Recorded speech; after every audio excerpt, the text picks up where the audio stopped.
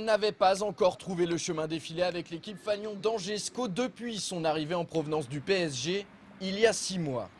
C'est désormais chose faite et il faut voir de quelle manière. Vendredi dernier, Gaëtan Charbonnier a fait preuve d'un sang-froid impressionnant au moment d'inscrire sur penalty son premier but sous le maillot angevin à l'occasion du derby contre le Stade Lavallois.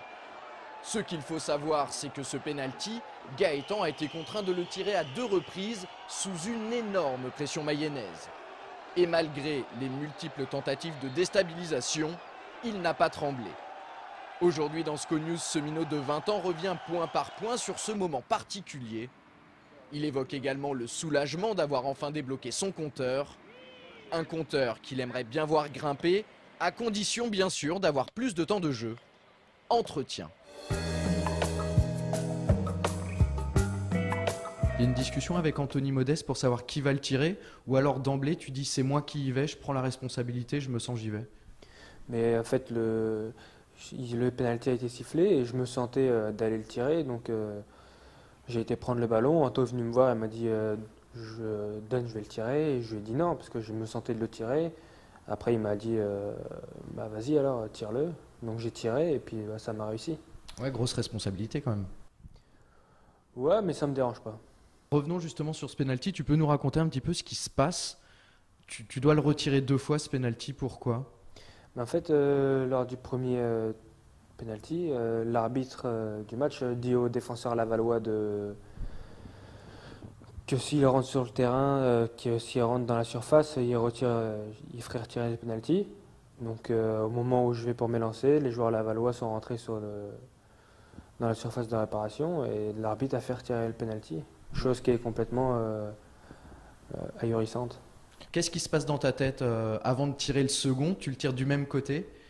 comment ça se passe dans la tête à ce moment-là? Bah, Je me dis que de toute façon, on ne veut même pas changer. Parce que le gardien, il pense que généralement, on va souvent changer.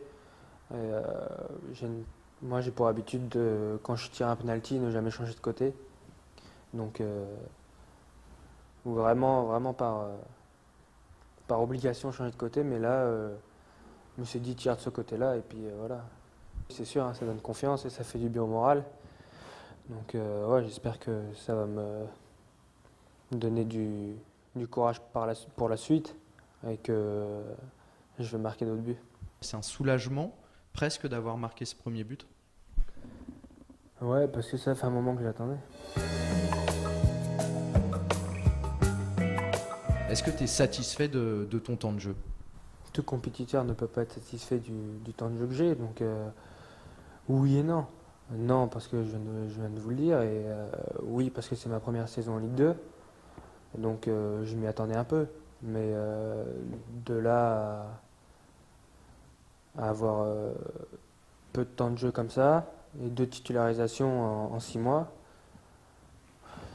bah, tu t'attendais à plus quand même. enfin, tu veux quand même un peu plus. Et malgré tout, d'après ce que tu me disais, tu as des objectifs quand même élevés. J'aimerais bien au total euh, avoir franchi euh, le palier de tout cumulé, but et passe décisive, le palier de 15. Ça serait une très bonne saison pour ma première saison en Ligue 2.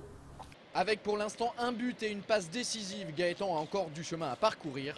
Il lui reste un peu plus d'une demi-saison pour y parvenir.